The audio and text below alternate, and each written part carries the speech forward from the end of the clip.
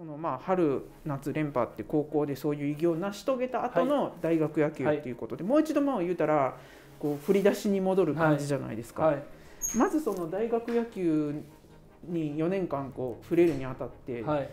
まずどんな風なことからやっていこうって感じだったの？どうしてそうですね。もちろん一からスタートっていうのはあったんですけどあの高校の時とは少し立場が違うと言いますか高校の時はもうゼロからやったんで失うものなくとにかくがむしゃらにやったりアピールするだけやったんですけど、まあ甲子園春夏連覇優勝のレギュラーっていうレッテルもあったんで何か少し期待されてるなっていうのを感じてたのであの1年生の時は自分にないようなポテンシャル強さであったりとかあの飛距離であったりとかってところをあの求められてるんじゃないかなと思ってプレーしてたのでだからうまくいかなかったんじゃないかなと思ってます。一番大変だったのはやっぱ2年生の時。そうですね。2年生、いや3年生の春。いやもうずっとそうずっと。3年生ぐらいまでもずっとしんどかった、まあ。あ4年になってからはねずっとまあほぼフルで出てたけど、はい。やっぱ3年までがしんどかった。そうです。いやもう大学生活4年間ずっとダメでした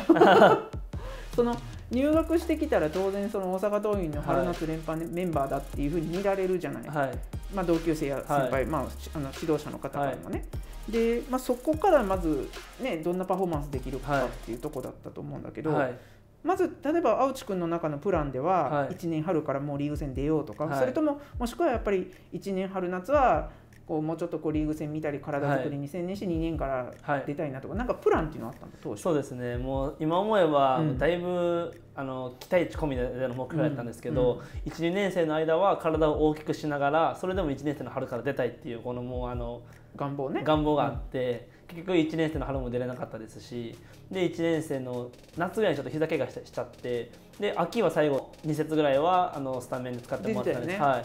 でも結果も出ずだったんで体は大きくなっていったんですけどあのなかなか野球の技術はあの自分の持ってるもの以上は出なかったなという感じです。うん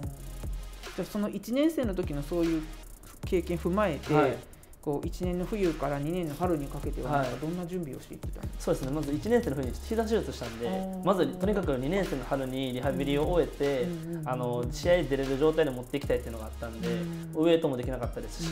あのとにかくリハビリメインでやって結局春2月ぐらいにはもう、あの万全にプレーできるようになってたんで、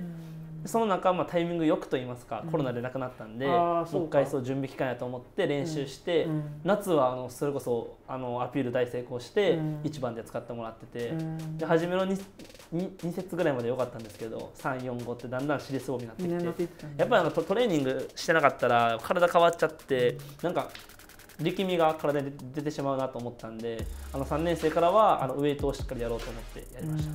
前に青地君が言ってたのがね、い。そのやっぱ高校でそれだけやり遂げれたから、はい。大学でもやれるだろうみたいな、はどこかなんかちょっとこう過信してですね。もう過たところが信と、もうあのうんもう満身の,、うん。あの塊だったんじゃないかなと思ってます。で実際やっぱそのねバットも木製バットになったり、ピッチャーのレベルも上がったり、はい。い、ろんなこう今までにはないこう現実が、はい。こう青地君をなんかこう、まあ、陥れたって言ったらちょっと言葉悪いけど、はい。なんかそういうところにこう引き戻していったみたいなところにおいては、はい。今思えばでも青地君の中ではそれがいやすごい良かったと思います。うん。あの特に2年生までは自分はもっとできるもっとできると思い続けて野球やってたんで、まあ、そこがそもそも間違ってたんですけどやっぱりあの3年生になって監督が変わられてあの3年生の春に今までの取り組み方じゃダメだっていうふうにもうきっぱり言っていただいたんで、まあ、そのし3年生の春は試合に出る機会っていうのもすごく減ってしまったんですけど今思えばそこは良かったんじゃないかなと思ってます。花の監督になってから、はい。だいぶ厳しいことって言われたんですか？そうですね。とにかく学業との両立、うん人間としての成長というところ言われているので、うんあの党員で学んだことを生かせずにやっぱちょっとあのどこか鼻高くなってあのまあ試合も出させてもらってましたし、っ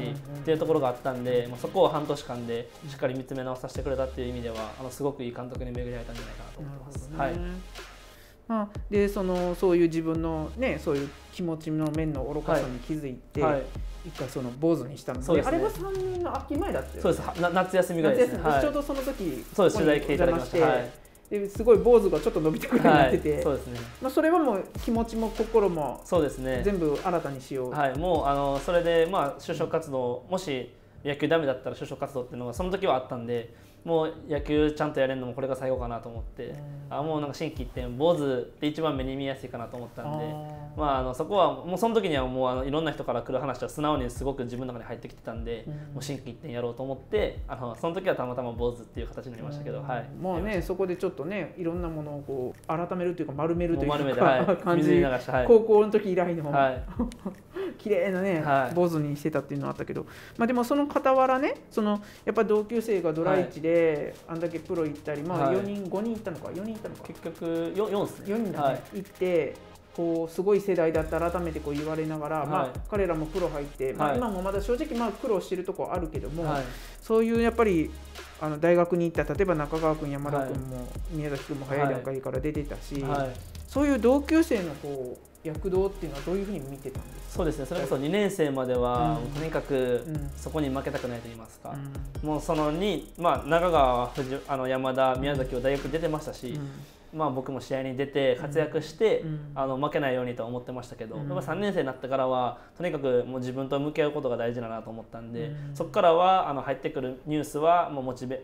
ーションとして、うん。あのとにかく自分のやるべきことに対してフォーカスしてきたんじゃないかなと思ってます。うん。なるほどね、はい。特にやっぱり大学にね進んで、まあ、東京六大学ってまたね、華やかなところに同級生いっぱい進んだ中で、やっぱ実際出てたのがね、はい。本当に自分の背中を押すはいこともあったと思うんだけども、はい。アーチ君らの代はやっぱその引っ換えだって例えば兵藤君はい。も天理大でずっと出てて、はい。結果4年の秋にベストナインも取ってて、はいやっぱりすごいというか、はい。そういう子たちでも切磋琢磨してやってるのが改めてすごいなと思ったけど、やっぱすごい世代でやったんだなっていう。そうですね、本当、まあ、それが評価されるのは、これ今後の、僕はもう野球終わっちゃいますけど、まあ、半分以上はまだ野球やるんで、うん。うん。うん。うん。その人たちの活躍次第だと思うんで、あとにかくそこはもう一ファンとして応援しようかなと思ってます。もう野球自体はめちゃくちゃ今も好きなんですけど、うん。まあそれよりかあの目の光らせるというか、うん。心躍る自分の目標ができたんで、うん。そっちに飛び込もうっていうふうに思いました、とにかく西谷先生はもうそういうのもあの考えて、うん。選手の進路先といいますか、うん。そういうのも考えていただいているので、うん。青地はそっちの道でも頑張れると思うから頑張れっていうふうに言っていただきました、はい